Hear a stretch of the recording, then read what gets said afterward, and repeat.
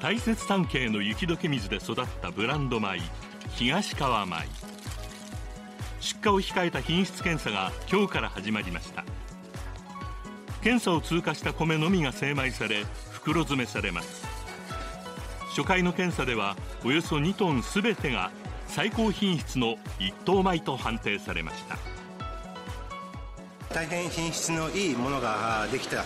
というところでございまして、まあ、一安心をしているところでございます。いち早く消費者の皆様にも届けていきたいというように思っているところでございます。もう少し我慢していただいてですね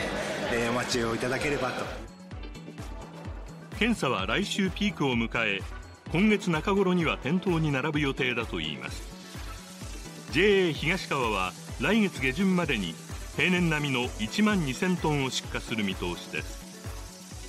千葉県産コシヒカリ5キロ白米1世帯1袋になっております。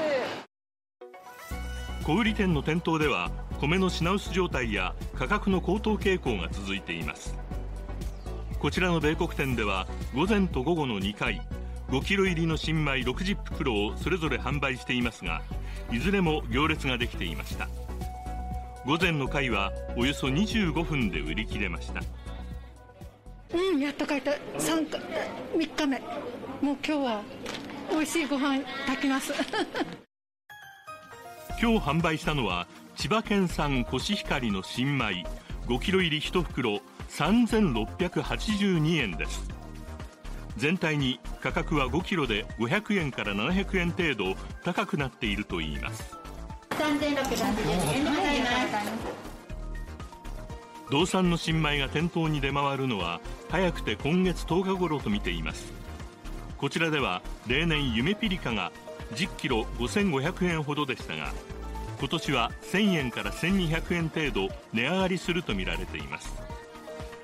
農協が農家に前払いする概算金が諸費用の高騰のため2割から4割ほど引き上げられたためです。実りの秋そして食欲の秋を迎えますが今年は家計に影響がありそうです。うん、値上がりの見込みではありますけれども石井さん美味しい新米が安定して出回ってくれるといいですね。そうですね。あともうちょっと待てば新米も出てくるということですから一安心ですけど。でも今回の騒動で私本当にお米のありがたさをね改めて感じたんですよね。本当にそうですよね、うん、街中のスーパー売り場に行くとちょっとないことがやっぱり多かったんで皆さん心配して焦った方もいらっしゃったと思ったんですけども、うん、まあ、これで、まあ、本州からもそして北海道の新米も出回るということなんで、うん一回これでちょっとね落ち着きそうですね、うん、はい、はい、ではその道産の新米がいつ頃出回るのかというのを近くのスーパー取材してみました。えまずはアレスパ三カホ店です。9月の下旬頃予定しているということでした。え続いてマルコストア本店東苗穂店に関しては9月の中旬頃9月にある連休明け頃を予定しています。そして卸売スーパー市内5店舗はすでにもう少量ずつ入荷中ということです。ただここから他の品種も増えていき週ごとに増える見込みだということなんです。この取材したすべての店舗ですが1家族1袋という制限がそれぞれありました。ですから皆さんこの制限を守りながら新米を買ってねぜひ楽しんでください。